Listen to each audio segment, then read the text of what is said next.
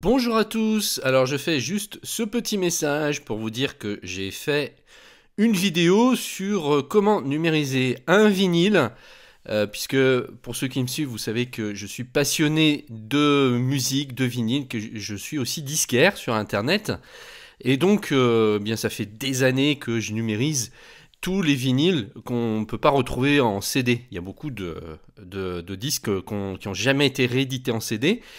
Euh, j'avais déjà fait une vidéo comme ça sur la chaîne, mais là, je viens d'en refaire une toute nouvelle. Euh, c'est vraiment, franchement, la meilleure que j'ai faite. Par contre, je ne l'ai pas mise sur cette chaîne, puisque j'ai une chaîne donc pour mes disques. Et je vous invite à aller la voir, et puis peut-être aussi à vous, abonner sur l'autre chaîne qui s'appelle le Disquaire du Web, si vous aimez la musique euh, et que vous aimez les disques. Donc désormais, toutes les vidéos qui vont concerner le son, euh, vont être publiés sur cette chaîne, notamment tout ce qui concerne le matériel IFI et tout ce qui tourne autour donc euh, ben, des disques.